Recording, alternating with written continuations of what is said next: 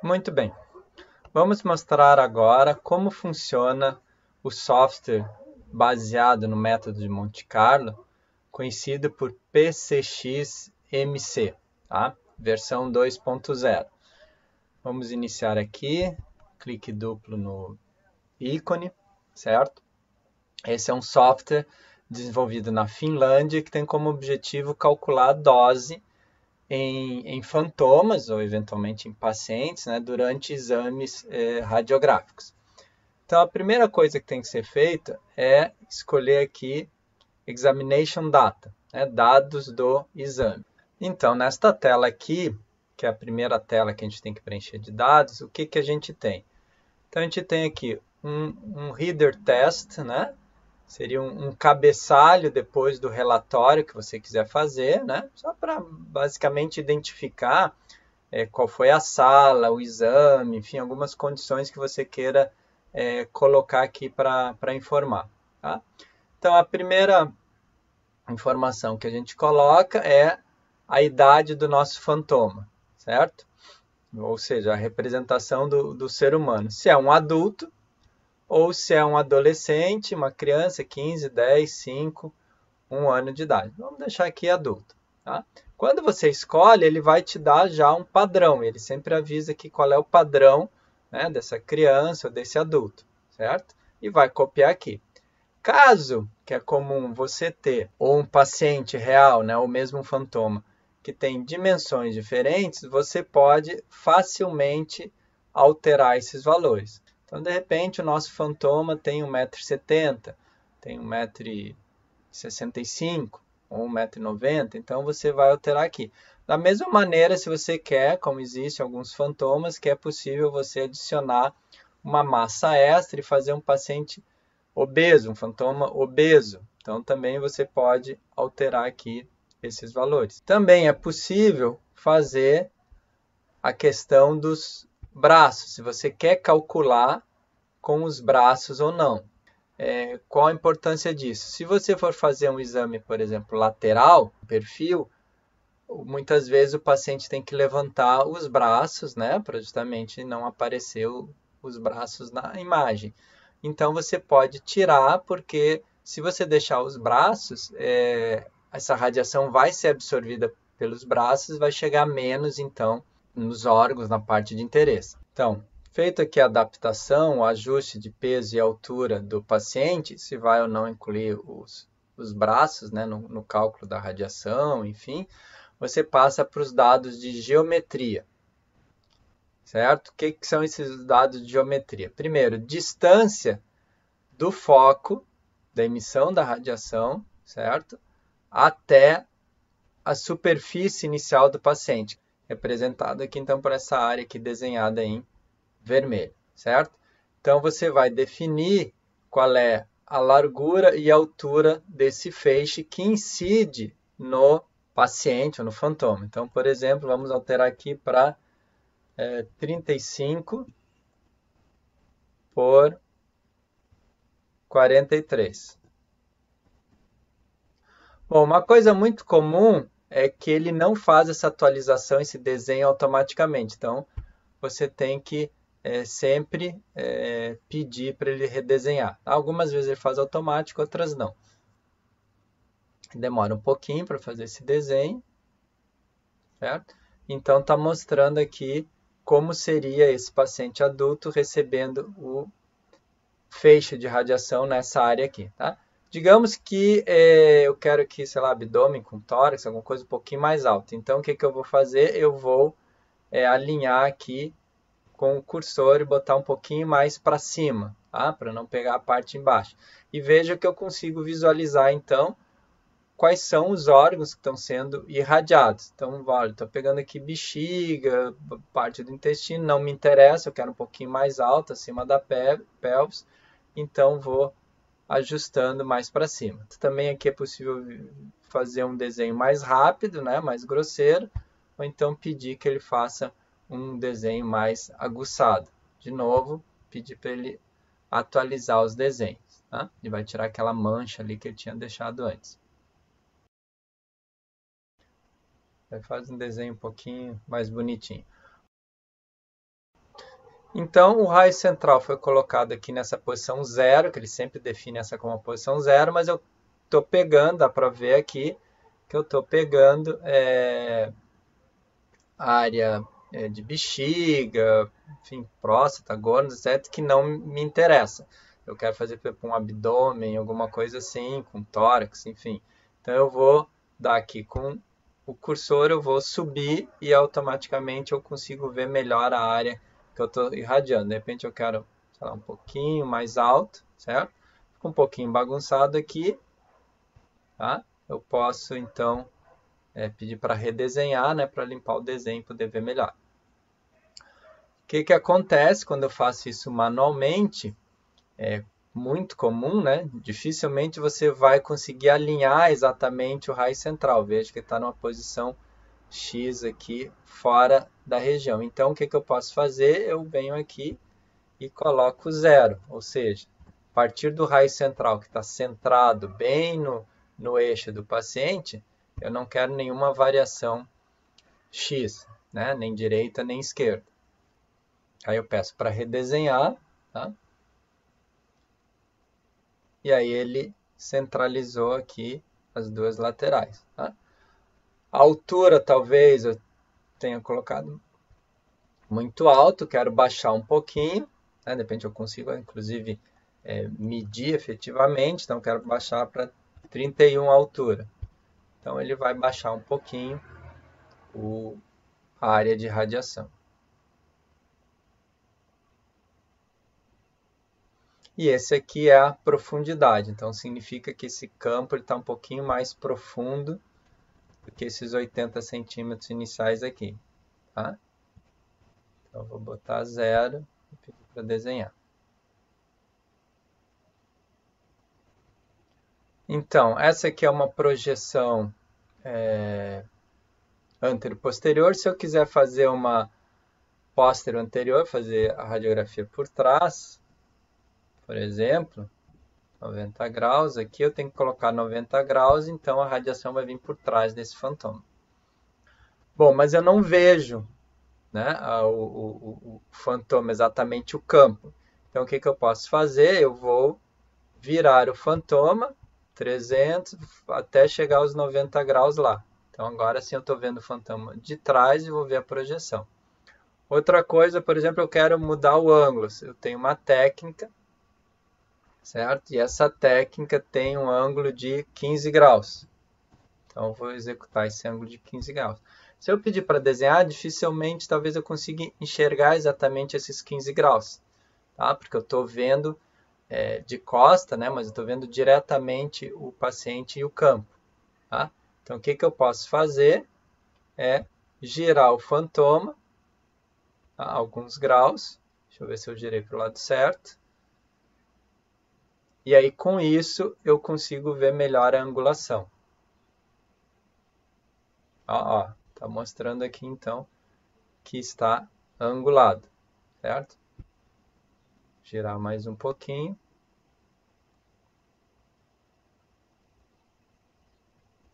Certo? Então, eu consigo ver a posição da fonte, né? Da emissão e o raio central aqui, onde é que está certo? Altura, aqui o x e o y de que valeria uma, uma profundidade, ok?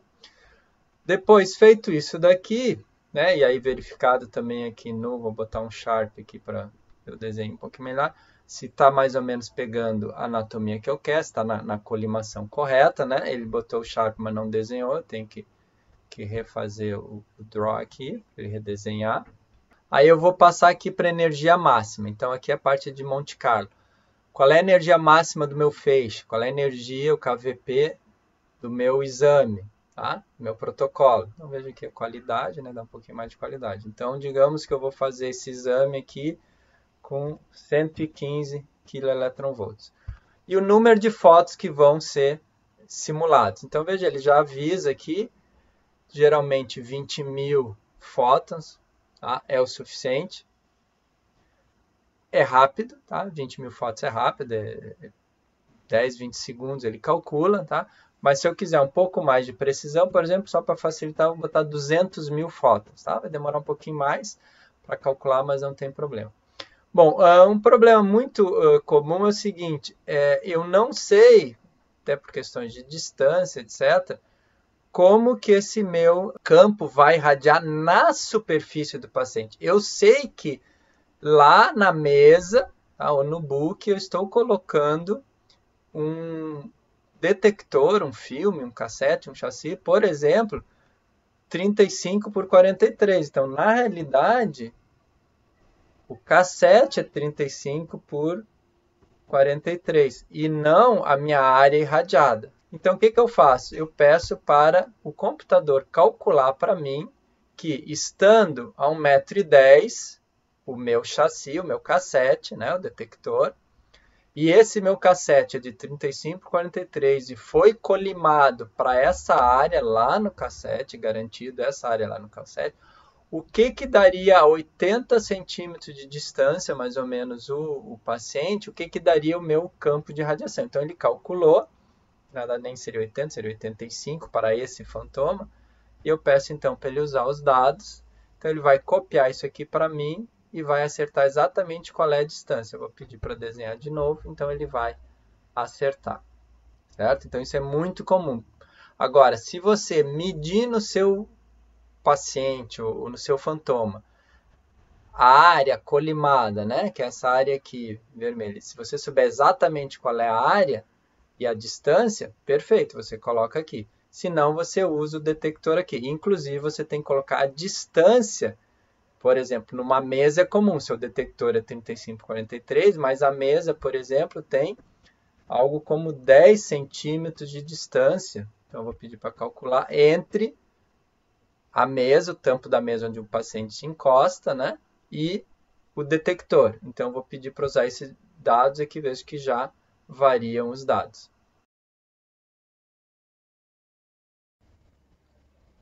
Muito bem. Terminado, então, todos os ajustes aqui, certo? Dos valores eh, da geometria, do paciente, do fantoma. Próxima parte é salvar o formulário, ou seja, salvar todos esses dados para que o programa possa então fazer um, os cálculos. Vamos botar lá a aula, por exemplo, vai chamar aqui de def2, que é o padrão dele.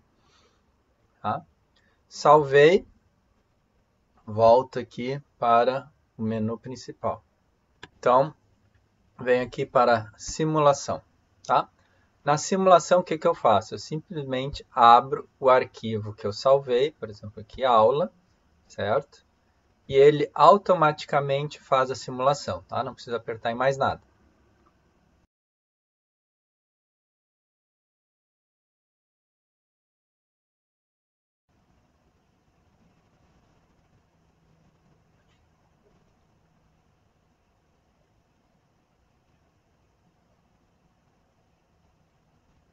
ele vejam que ele vai dividindo aqui a energia em grupos de, de 10 kV, né? 70, 80, 90. Depois ele faz um grupo de lotes ali, de, de, de 10, 20 mil é, fotos em cada lote, né? E, enfim, está processando ali a radiação X, a emissão de radiação X certo? 20 mil fotos vezes 10, 200 mil. Então, cada 10 keV tem 200 mil fotos. Feito isso, ele dá o, o down aqui, aí volta para o menu principal e vai no computar as doses, né? calcular as doses. É, a primeira coisa que a gente vê é isso aqui, ó, potencial e tal, a gente manda trocar o espectro, então estou, por exemplo, com o espectro de 110, KV, um filtro de alumínio, 13, né? Já vai dizer alumínio. Geralmente nós temos 2,5 milímetros, né? Que é, o, que é obrigatório de filtração inerente, mas enfim, se você sabe do, do seu equipamento, né? É interessante que saiba. Ângulo anódico, 8, 9 graus. Pode ter um segundo filtro, né? Por exemplo, de filtro de cobre, tá? Por exemplo, 0,1 milímetro de cobre, certo? E aí então eu posso sair e guardar esses dados, gerar, gerar o espectro com esse, esses dados, ou então manter os dados antigos, né? Como eu alterei, eu vou sair. Feito isso, eu vou então abrir aqui Monte Carlo para calcular, cujo nome é EN, né, de Energy Files, EN. Então é o EN, aula EN aqui que eu vou pegar. Bom, aqui vem uma coisa muito importante. Na verdade, todos esses cálculos aqui são feitos para, digamos, uma unidade de dose, né? por exemplo, um miligray. Mas o meu exame veja que em nenhum momento eu falei enquanto MAS que eu estou usando, quanto MA, quanto de corrente, ou seja, qual é a minha produção real de número de fótons, ele calculou para 200 mil fótons, ou um pouco mais, enfim, né? maneira como ele calcula. Só que na verdade a gente produz um bilhão, um trilhão de fótons. Né?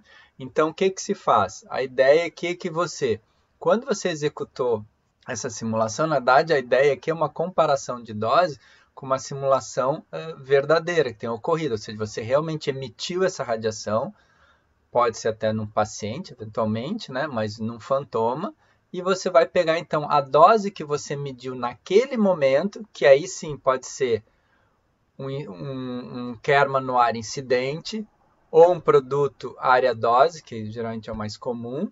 Então fui lá e quando eu emiti aquele 110 kV com, sei lá, 10 MAS, o meu equipamento produziu 5 miligray por centímetro quadrado. Tá? Posso usar é, exposição de entrada, que eu, que eu tenha medido com equipamento, ou produto, área, exposição. Né? Todos esses são valores efetivamente que foram medidos, e com isso ele ajusta esses 200 mil fotos, ou enfim, 200 milhões de fotos que ele tenha é, simulado lá, e as doses que ele calculou, ele ajusta para esse novo valor. É só uma questão, uma regra de três, tá certo? Para dar realmente a dose real, ou a dose estimada, né, o mais próximo possível do valor real. É possível usar o, o MAS, o produto corrente tempo. A única questão do MAS é o seguinte, o MAS ele não é medido. Você supõe, você pede para o equipamento, né? E você supõe que ele lhe obedeça e dê efetivamente aquela quantidade de fótons dada pela corrente e o tempo.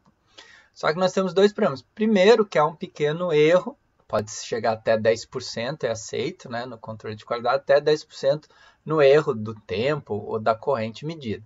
Mas ainda assim que o seu equipamento esteja funcionando bem, que você tenha pedido lá 5 MAS, por exemplo, né? se eu trocar aqui a corrente vai para 5 MAS, vejo que ele avisa também que não é o mais indicado, tá? vou botar aqui o dose área produto.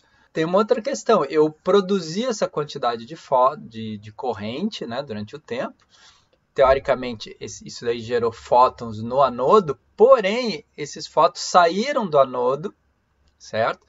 Passaram pelo vidro da ampola, pelo óleo e pela filtração inerente que até de uma certa maneira né, a gente colocou lá dentro, tá? que até aparece aqui, 2,5 milímetros de alumínio, 0,1 de cobre. Muito bem. É, só que esses filtros, o óleo, a ampola, etc., cada equipamento tem uma, digamos assim, uma produtividade certo? Uma relação entre KVMA e efetivamente a radiação que sai. Tá? Eles mudam o espectro. Então, uh, simplesmente você botar o MAS vai corrigir, claro, a quantidade que ele calculou para a quantidade efetiva que tem que ser é, calculada, mas vai ter um erro razoável porque você não sabe efetivamente tá? qual é a produtividade.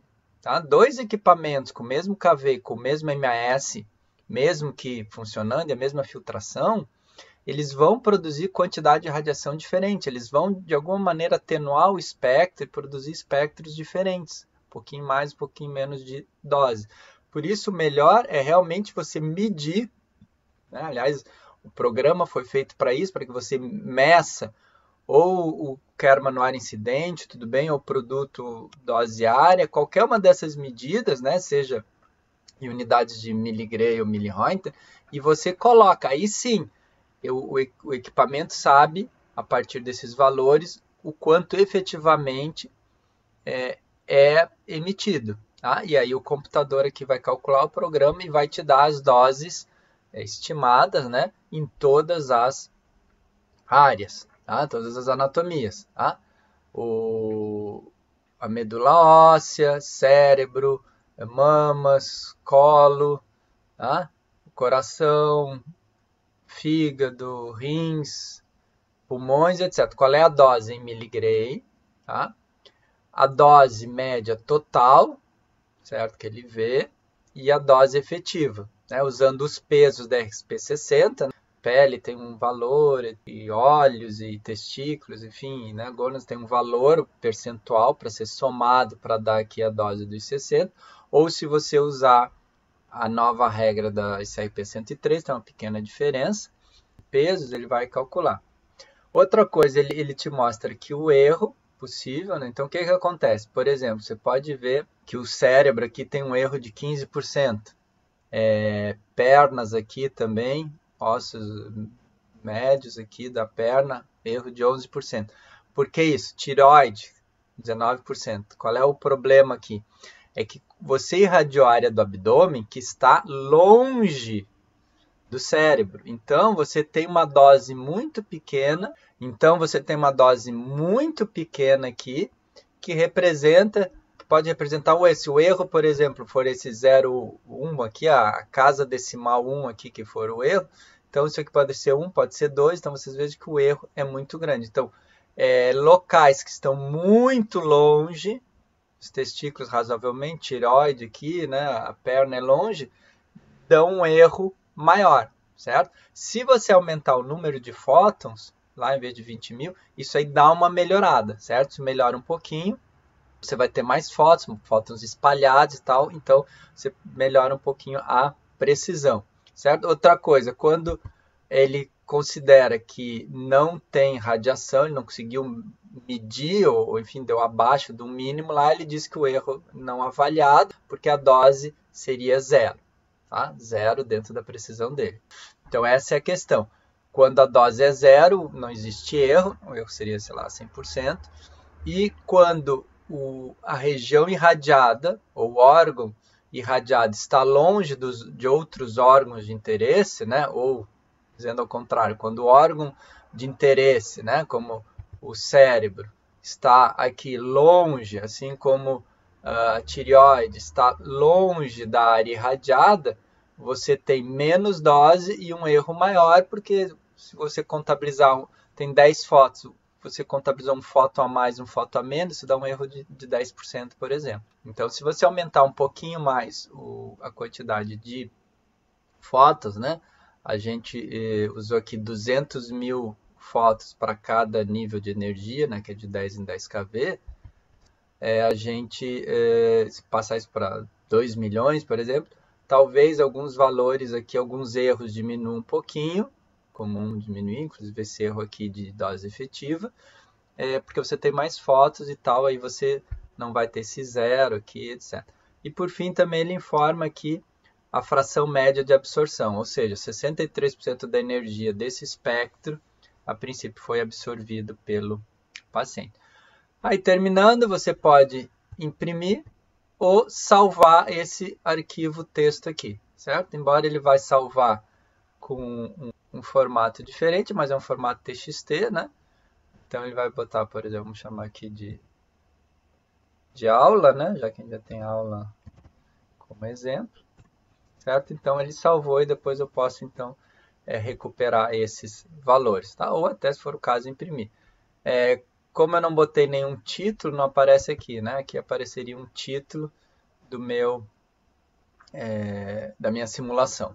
Tá? Então, se eu botasse lá exemplo de aula, apareceria aqui exemplo de aula. Ok?